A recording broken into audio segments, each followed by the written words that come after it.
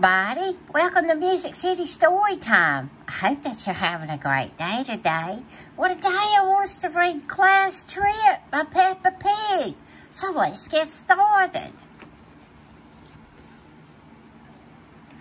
Peppa and her friends are going on a class trip.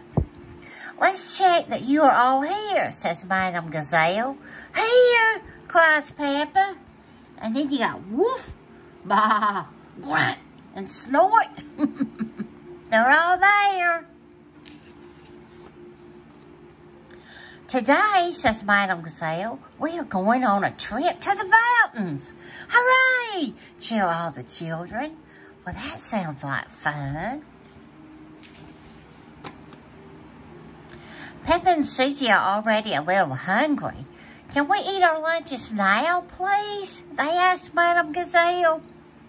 Why don't you eat your apples and save the rest for our picnic? The teacher replies. Crunch, crunch.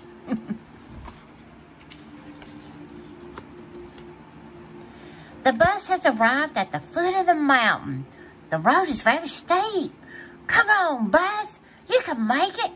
Everyone cheers.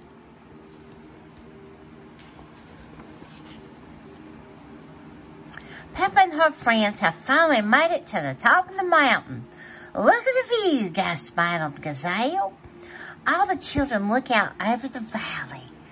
Wow, I bet it's beautiful.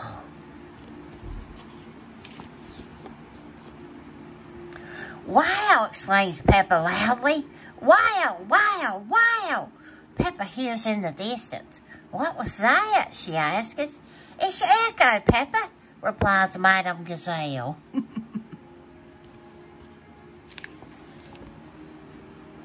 the kids all take turns making noises to hear their echoes. Grunt, woof, bah, snort.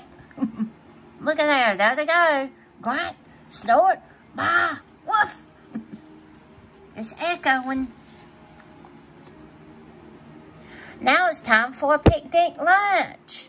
Peppa loves picnics. Everyone loves picnics. Munch, slurp, crunch, yum yum. Do you like picnics? I sure do. Where are the ducks? asks Peppa, taking a bite of her sandwich. They always turn up when we have picnics. Quack, quack, quack. Here come the ducks. Hello, would you like some bread? Peppa asked them. The ducks are very lucky today. The kids brought plenty of extra bread to feed them.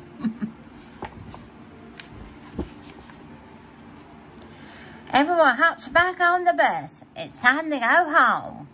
Let's all sing a song, suggests Madame Gazelle. La la la.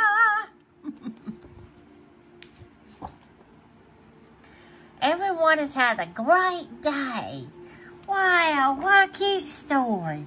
I hope you've enjoyed it for today. And listen, always remember, you are special. Until next time.